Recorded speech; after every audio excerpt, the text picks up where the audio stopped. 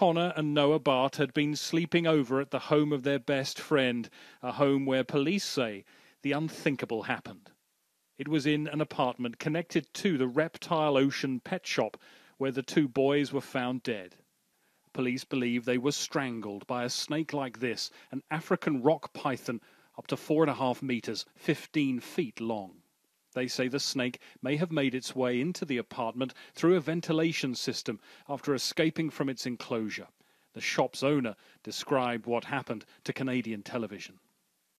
I thought they were asleep until I seen the, the hole in the ceiling. Everything had fallen, and I turned the lights on, and I seen this horrific scene. And the snake was gone, but I I found the snake. It was in a hole underneath the.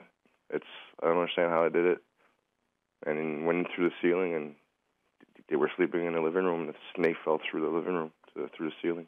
I pinned him down and I put him in a cage. The boy's mother, Mandy Trecartin, was a friend of the shop's owner and let them regularly stay over they're my my best friends' kids, and they're my kids. They're they're all best friends. You know, it's like we're an extended family. What happened here on Pleasant Street has shocked the community of Campbellton. We could never believe that something like this could happen, but it's happened. The fact that you have an apartment with animals like that below, the risk is always there.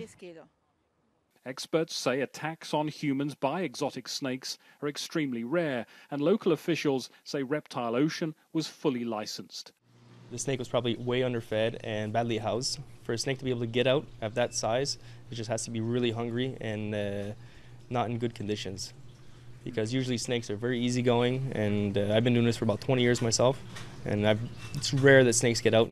I mean, I feel like I've lost. I feel like they're my kids. You know, it's just I don't know what to think. Post mortem examinations on the two boys are due to be carried out today. Greg Milam, Sky News, Los Angeles.